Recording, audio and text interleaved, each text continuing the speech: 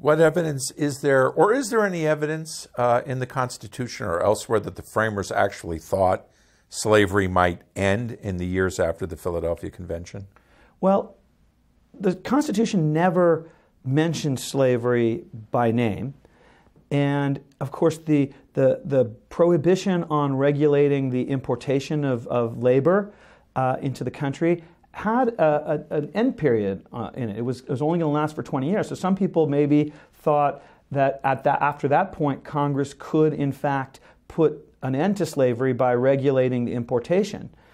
Uh, so I don't know that people wanted to commit to the future of slavery. I think it was one of those issues that the, the more the framers talked about it, the harder it was going to be to do a deal. Because, you know, we tend to think today that a lot of the bargains in the Constitution were between big and small states, like the U.S. Senate. Uh, you know, small states got a little extra benefit uh, because each state has two senators. But a lot of these compromises were really not about big versus small. They were about North versus South and slavery versus non. And there was an understanding that this, the, an expectation that the northern non-slave states were going to grow more rapidly over time and have more voters and overwhelm the southern slave states. So, you know, I'm sure some people predicted that slavery would ultimately go away, but exactly how long it would take and exactly what would be the triggers, I'm not sure anybody knew. What were the scope and limits of the powers of Congress over slavery? Again, the Constitution never mentioned slavery by name or Congress's power or not over it. There was a, a, prohibition on Congress regulating importation of, of labor for 20 years, and that was obviously about slavery.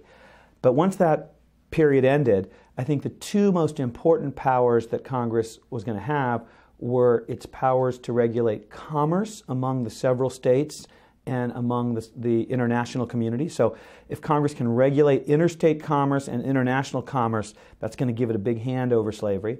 And then, second, the Constitution explicitly gives Congress the power to make rules for federal territories. And everybody understood that the, the United States was going to be extending westward, and the future of slavery really depended upon how it fared in that westward movement. Can you talk about how the country managed the process of admitting new states, uh, along with the goal of maintaining a balance of free and slave states? What compromises were made? Well, we're, we're familiar with many of the, the, the, biggest compromises. So, for example, the Missouri Compromise in 1820 tried to preserve balance in the U.S. Senate by adding one slave state, Missouri, uh, along with a free state, Maine. Uh, and then other compromises dealt explicitly with uh, the Western territories and tried to draw a line um, uh, wherein northern territories would remain free and southern territories would permit slavery. But all of those broke down in the 1850s, especially after the Dred Scott decision, uh, where the Supreme Court said that a slave owner can take a slave into a free territory and, uh, and, and live there with that slave as a slave, then any kind of line that you draw is not going to hold if people can move across it.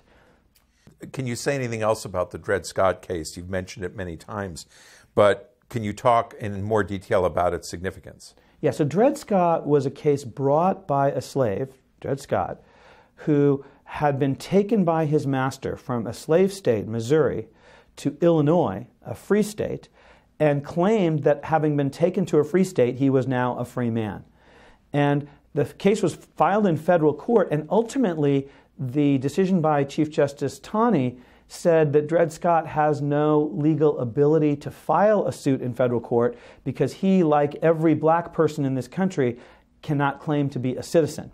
But en route to reaching that decision, the opinion by Justice Taney said that the due process clause of the Fifth Amendment allows people to take their property with them wherever they go, and the, the government cannot deprive them of that property. And so the owner of a slave can take a slave anywhere, even to a free state, and keep that person as a slave. That effectively gutted the Missouri Compromise and any legislative attempt at compromise. So if Taney thought this was going to buy time, he was exactly wrong because this kind of this highlighted that there's really no middle ground on this issue. So would it be fair to say that at some times the Constitution has appeared to be pro-slavery and at other times anti-slavery? Well, it's certainly anti slavery after the 13th Amendment. As we discussed earlier, the 13th Amendment is very absolute in its rejection of slavery, and that's part of why some people consider the 13th and 14th and 15th Amendments a second constitution.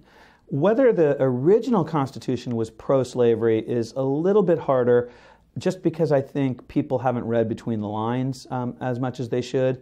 Uh, slavery was not mentioned in the original Constitution, but if you look at things like the Three Fifths Compromise and the makeup of the Electoral College and the decision to have an Electoral College rather than a direct national popular election, all of those things were done to accommodate slavery.